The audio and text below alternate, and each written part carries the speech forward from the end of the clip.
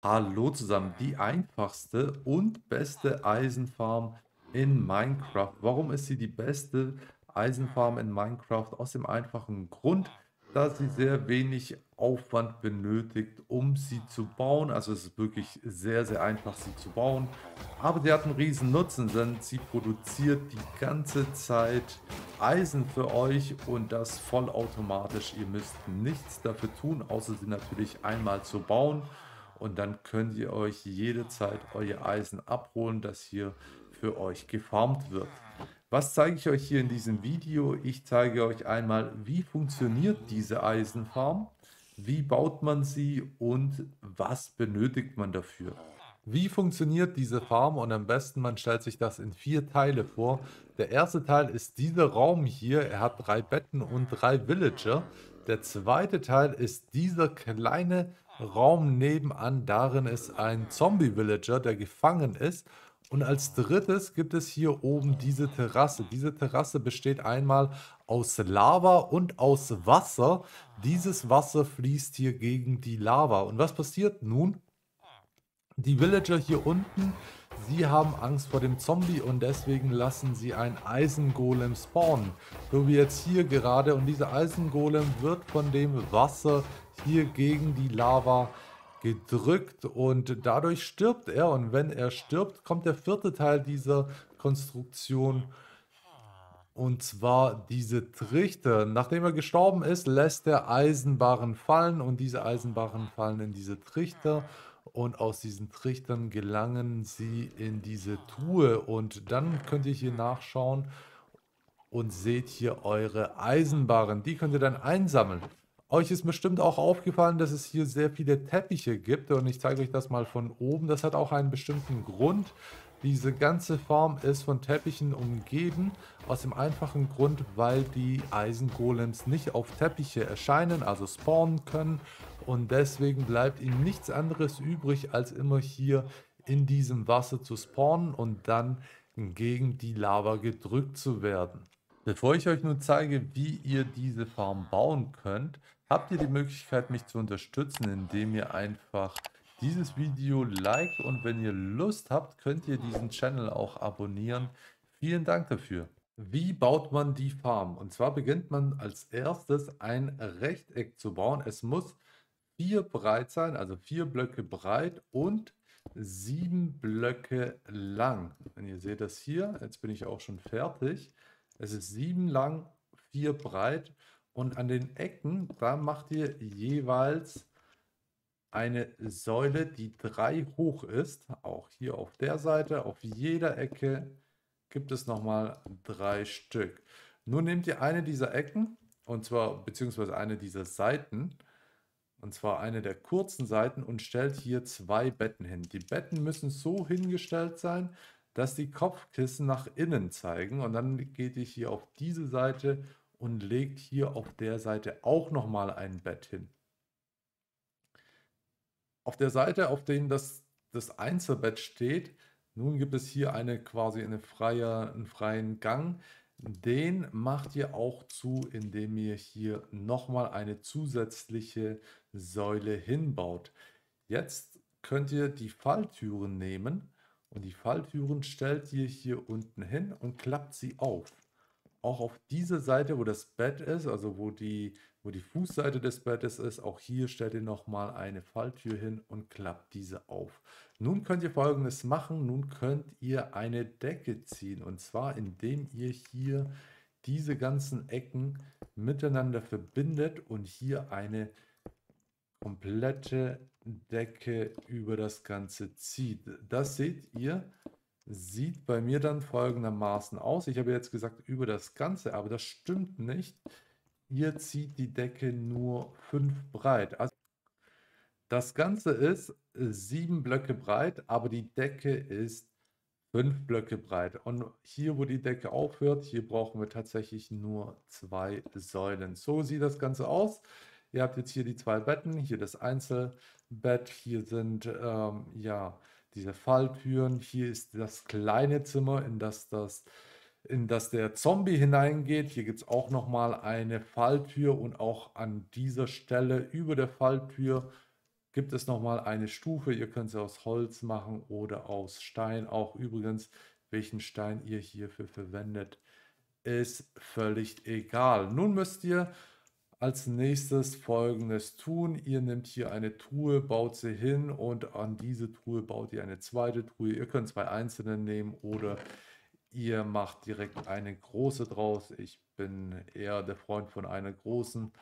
Auf diese zwei Truhen setzt ihr nun zwei Trichter und auf diese Trichter setzt ihr auch nochmal zwei Trichter und zwar, dass diese zwei auf die zwei hier zeigen. Somit, wenn hier etwas reinfällt, fällt es immer in diese Trichter hinein und wird dann direkt in die Truhen weitergeleitet. Ebenso setzt ihr hier nochmal zwei Trichter an die Seite. Diese zwei Trichter zeigen in die Richtung der zwei Trichter über der Truhe. Nun schauen wir uns das Ganze mal von der Seite an, ob das so passt. Ja, das passt so. Und wenn ich jetzt hier irgendetwas hineinfallen lasse, ich kann auch hier nochmal Trichter hin, hinmachen, dann haben wir insgesamt acht. Aber sobald ich hier irgendwo irgendwas hineinwerfe, sollte das in der Truhe landen.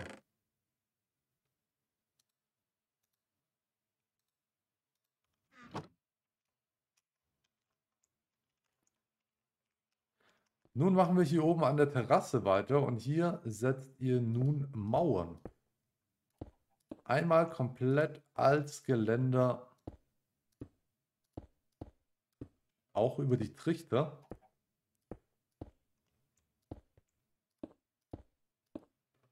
Und nun ist es wichtig, an der Stelle, an der die Lava kommt, bedeutet hier also an diese Trichter, hier setzt ihr nochmal eine weitere Mauer in die Ecke und an der Stelle nochmal zwei in jede Richtung.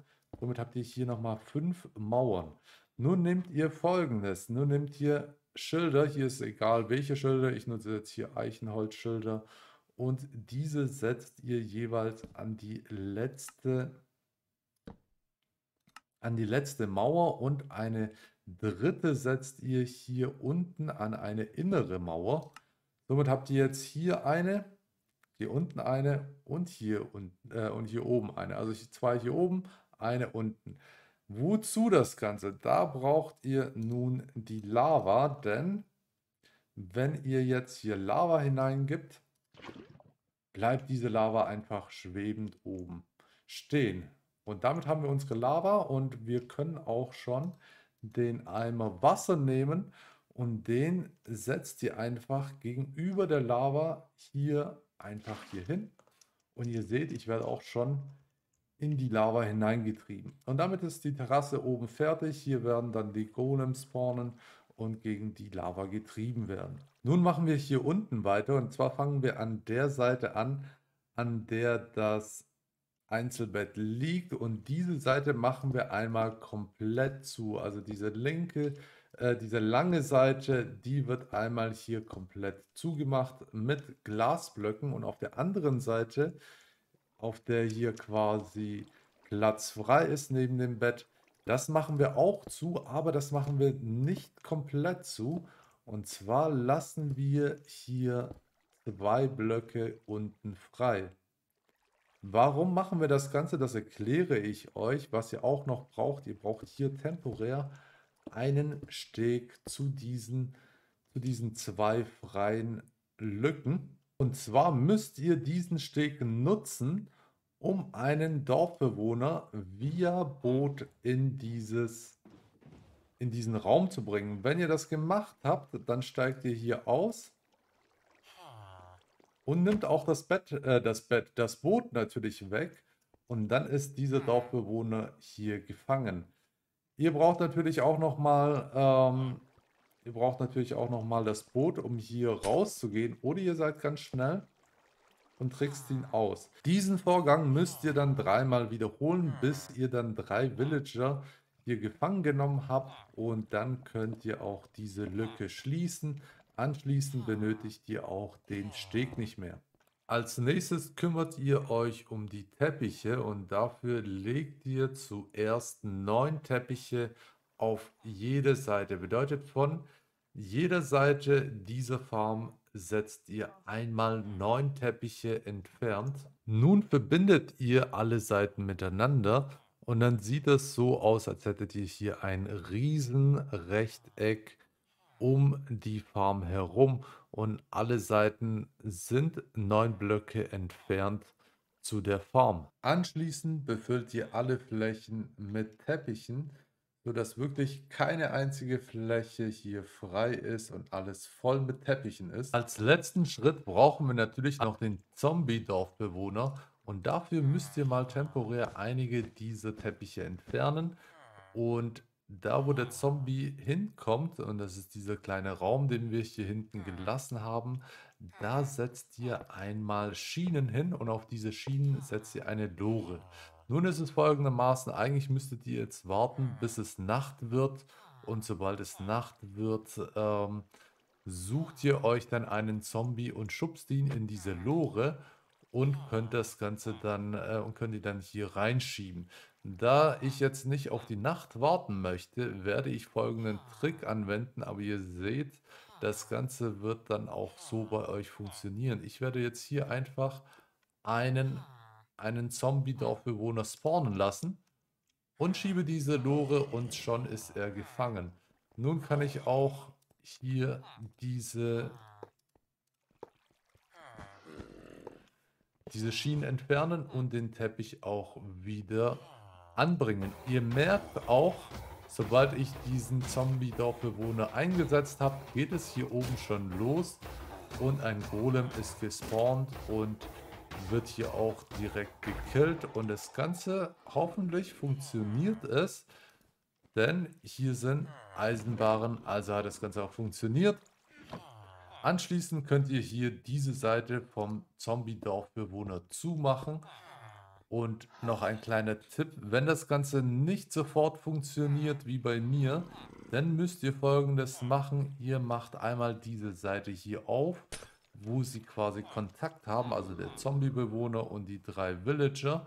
Da nehmt ihr dann einen Block, das ist egal welchen, ihr versperrt ihnen die Sicht zu ihm und entfernt diesen Block wieder. Nun müssen sie eine Nacht ähm, quasi erlebt haben, also eine Nacht muss da sein und danach sollte das Ganze direkt funktionieren. Aber ihr seht, bei mir funktioniert das sofort und es spawnen hier immer mehr und mehr Golems und ich hoffe auch die Eisen, ja auch die Eisen werden immer mehr und mehr. Was braucht man dafür? 58 Stein, eine Holzstufe, zwei Falltüren, zwei Truhen, ein Eimer Lava, ein Eimer Wasser, drei Betten, acht Trichter und 23 Mauern, 23 Glasblöcke, eine Lore, einige Schienen und auch einige temporäre Blöcke, wie ihr gesehen habt. Und falls ich mich nicht verzählt habe, dann 522 Teppiche. Und ihr seht, während ich hier weiter erzähle, funktioniert auch und läuft die Farm auch weiter und farmt hier fleißig. Eisen. Ich hoffe, das Ganze hat euch geholfen. Ich würde mich freuen, wenn wir uns auch beim nächsten Video sehen.